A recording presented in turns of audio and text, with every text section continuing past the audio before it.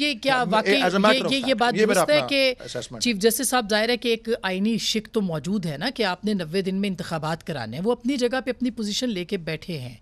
तो क्या ही अच्छा था कि ये यहाँ तक मामला ना जाते और सियासी जमातें इसका इदराक करती। क्यों आप उस आइन की रिक्वायरमेंट को पूरा नहीं कर पा रहे अभी तक?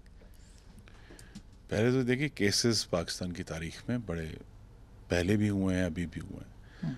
अभी ज़्यादा वक्त नहीं गुजरा। फरवरी 2021 में सुप्रीम कोर्ट ऑफ़ पाकिस्तान ने कहा था कि पीटीआई की हुकूमत ने जो पंजाब के बल्दियाती इदारे हम्म। तहलील किए थे वो गलत फैसला था और उनको बहाल करना था इनकी हुकूमत चलेगी वो बहाल नहीं हुआ सर अगर वो गलत काम करेंगे तो फिर क्या नहीं, मैं मैं मैं मैं तो देखिए उन्होंने कहते हैं ना हुक्म अदूली हम्म। बार बार कह रहे हुक्म अदूली हो रही है तो इनकी जो हुक्म अदूली है चौदह महीने की उसका कौन जवाब देगा हम्म।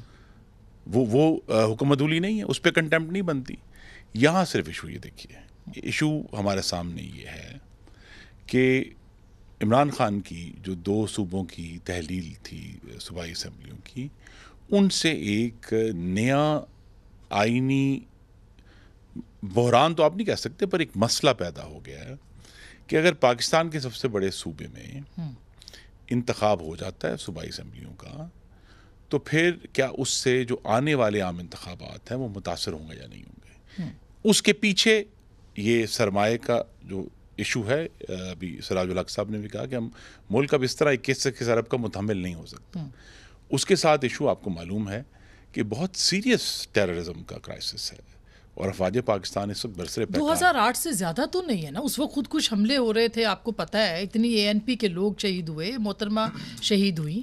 तो उस उस तरह के हालात तो नहीं है नहीं तो उस उस वक्त जो है वो स्टैटिक फोर्स जिस तरह की हमने दो हज़ार अठारह में देखी थी उस तरह की स्टैटिक फोर्स भी नहीं थी उस पर पोलिंग स्टेशन पे हम्म। यहाँ तो डिमांड ये है कि स्टैटिक फोर्स यानी हर जिस तरह 2018 में हमने देखा कि हर बैलेट बक्स के ऊपर एक अफाज पाकिस्तान का एहलकार जो है मौजूद था हम्म। अब वो उन्होंने कहा कि जी हम आपको ओवरऑल सिक्योरिटी तो लार्जर दे सकते हैं लेकिन हम ये स्टैटिक प्रेजेंस हम नहीं इंश्योर नहीं कर सकते हम्म। ठीक है जी उसके साथ इशू जुड़ा हुआ है कि पिछला जो सेंसस हुआ 2017 में उसके लिए आइनी तरमीम की गई वो कुछ सूबों ने रिजेक्ट किया था लेकिन इंतबात के लिए वो कर दिया गया उसके। बाद फिर इन्हीं की सीसीआई ने कहा कि नहीं अगला इलेक्शन जो है वो नई मरदमशुमारी पर होगा मैंने नहीं कहा ये। ठीक है अब वो जब ये सारे इश्यूज़ इकट्ठे हुए हैं तो हमारी नज़र में और सबसे बढ़कर इलेक्शन कमीशन ऑफ़ पाकिस्तान की नज़र में हम्म। जो कि ना, ना एक इंतज़ामी इदारा है ना ही वो अदालती इदारा है वो एक आइनी इदारा है उन्होंने ये बेहतर समझा है कि ओवरऑल सिचुएशन को देखकर आर्टिकल 254 का सहारा लेते वो भी आयन का हिस्सा है ना। हम्म। ठीक है?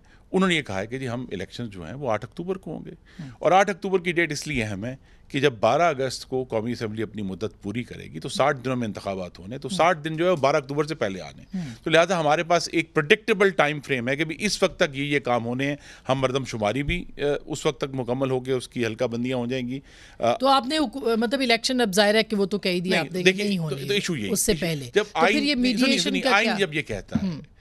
कि दो सौ चौवन के तहत कि अगर आइन में दी हुई मुद्दत पर कोई काम नहीं हो सकता हम्म।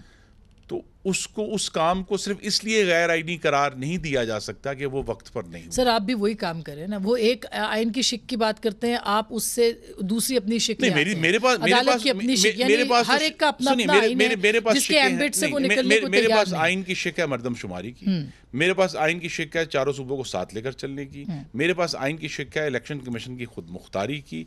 उसके पीछे इलेक्शन कमीशन इलेक्शन एक्ट 2017 में क्लॉज 69 है जो ये कहती है कि इलेक्शन कमीशन जिम्मेदार है। हम्म। और इसके ऊपर जो अदालत आलिया ने एक बहुत बड़ा तजावुज किया है इस सारे मामले पार्लियामेंट की वो मामला जो वो है, अलग है वो अब कहीं और चला वो दुरुस्त बात है। उस पर वो आपकी उस पर हम सेंटर साहब से पूछ लेंगे कि पार्लियामेंट की डोमेन के अंदर आके चीज़ों को जो अब हो रहा है कि भाई ये कानून ठीक नहीं है इस पर बेंच बना दें और फिर कल तो खैर तोहन अदालत के हवाले से भी हम बात करेंगे। एक छोटी सी ब्रेक ले रही हूँ। ब्रेक के बाद अदालत के पास ऑप्शन क्या हो सकते हैं? कल के अब गवर्नर स्टेट बैंक कह रहा है कि पैसे हैं लेकिन एलोकेशन जिन्होंने करनी है वो करने को तैयार नहीं यानी पार्लियामान ने मुस्तरद कर दिया। क्या हो सकता है ब्रेक के बाद।